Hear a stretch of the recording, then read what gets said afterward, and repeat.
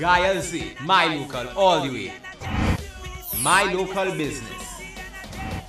My local community. My local culture. My country. Guy LC, my local all the way. She is revered by friends and family as the pastel queen of the West. Her surname sounds familiar, doesn't it? Well, she is the mother of singing sensation Kees Dieffenthaller. So, as you can see, there are many layers to this multifaceted family. Owner of a small business called Mariposa Catering Service, she's a culinary artist and one of her specialties is pastel a dish she has been making since childhood. I have made pastels commercially about um, 12 years, you know, but prior to that it was a normal thing at my house, at home. When we were small we always had pastels and we always worked, you know, to help to make the pasta. Why do Trinidadians crave this dish at Christmas time? Mrs. Dieffenthaller explains. Well, I, I think it is tradition. It's just that um, the Spanish influence and people like it just because of that. It's been around, I mean, ever since, you know, we had all the Spanish people coming here and, you know, that it's a long time now, many years, and it has become a tradition, and I think this is why people um, feel there's no Christmas without pastel. Pastel is usually filled with pork or beef, but this is not a hard and fast rule. No, you can um, use chicken, because some people, you know, are not into the red meat and the pork and so on. The original thing was it was um, beef and pork. But as the time went by and people changed their eating habits, some wanted beef alone, some didn't want beef at all. So they'd have they'd want chicken. And then there are those who are vegetarians and they'd have I do soya, but you have people doing bodi and lentils and chana and all sorts of things. You know. But I use soya for the vegetarian. Though a popular dish during this Yuletide season, there are those who partake of the delicacy throughout the year. There are people who like to have pastels all the time. So I would make I make pastels like every month, two or three times a month. Because there are people who would find that it's an easy thing. You get home, you know, you do a quick something with a salad and that's it. So I, I sell all during the year. Now, we showed you how to make homemade wine and sada roti on a chulha. So it would be remiss of me not to show you how to make pastels. This is um, ground beef pork. Okay, this is what has already been cooked. But these are the ingredients that I use. Um, a lot of sage, pimentos, um, garlic. Well, hot pepper I'd put. Some people like pepper, some people don't. So of course, you know, you have to do it according to the order.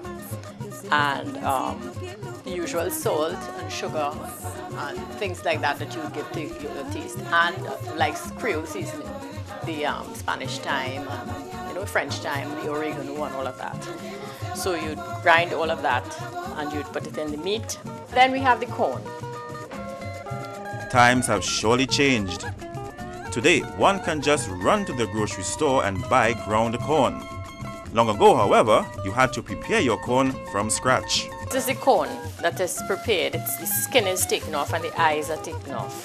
There's the white one and the yellow, so, so you, sometimes you mix the two to get that, um, well, the color, just the color, to be a lighter yellow. This is what they use long ago, and this is what they still use in Venezuela. A coffee mill is normally used to grind the corn. Put this as well water.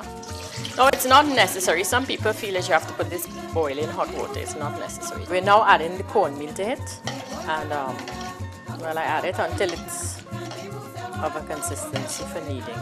This here now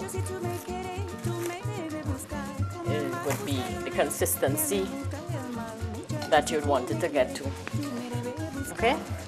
Consistency that you can um, boil it easily. I'm dipping it in here in a little oil.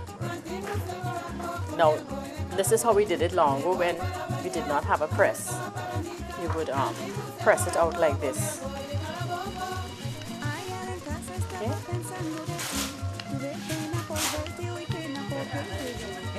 See? That's how it will, will press it out. Okay? But now, with the advent of the press, you press it down like this still, you know, smooth it out a bit. Then it is time for the zesty pork and beef. It is at this junction three important ingredients are added. These are the ingredients you put in it last. The olives, raisins, and capers. The caper is a plant. It's a um, preserved bud of, of, of the caper. And it's um, preserved in, in um, vinegar. Take some raisins. Yeah, yeah, take some raisins. Put raisins and um, olives and a few capers. Okay? The pastel is then folded in the form of an envelope.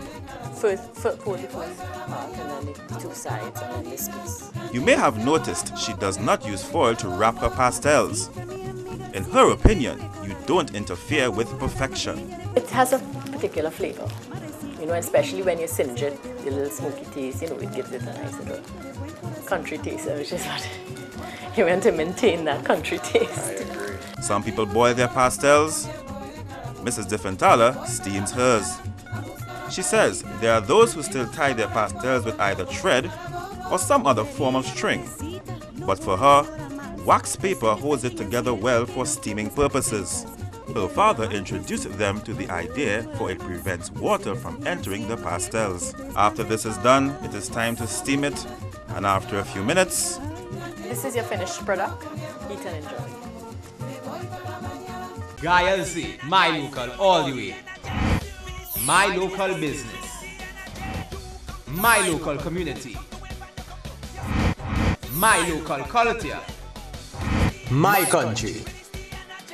Guy LC, my local all the way.